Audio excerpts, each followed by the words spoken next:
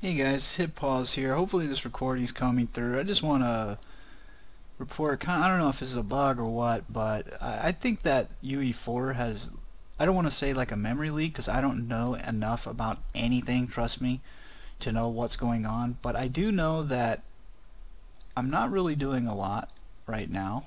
I know I had a lot of stuff up. I've been working for several hours. It's something that I had mentioned in the past. You can see how long it's taking this to close. Um, I'm basically locked, totally frozen at this point. While that closes, can't. I don't want to click because it's gonna crash. Just gonna wait. But number one, you can see that the memory usage on the editor is like six gigs. I only have eight, um, and it just it just seems to build anything from memory. It's like a, I get to this point every single day that I use this thing that I get. This happens to me every day. I, I after a while I just can't do anything anymore. So I close that. I'm going to actually compile that, save it, close it. Okay, it feels really laggy.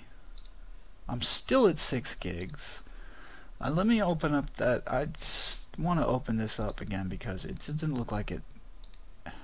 Also, for some reason, if I touch other another tab blueprint when it's in this mode, every other thing that's open here says it needs to compile.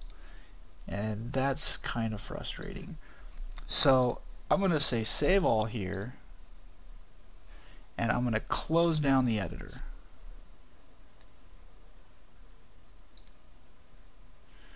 Okay, as you can see,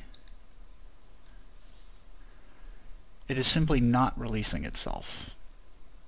6 gigs up at the top. My whole computer is stuck on stupid. I mean, Windows is feeling okay right now, but like I'm opening up a new window.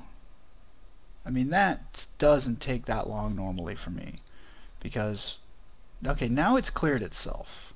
Now it's cleared itself.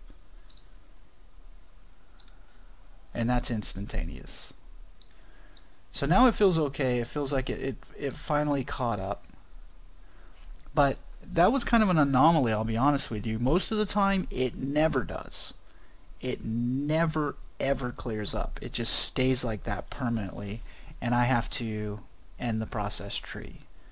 So I don't know if that's just me and my computer, my RAM's bunk, or it's something that other people experience. I'm pretty sure it's just me because um, I've never heard anybody else whine about it. Um, but it does happen to me every single day, and it seems, like I said, it seems to build up over time, just over time. You know, like, ooh, oh. So that's the bug. I don't know if it's a bug. I just want to report that it's happening. So thanks for watching, and hit pause signing off.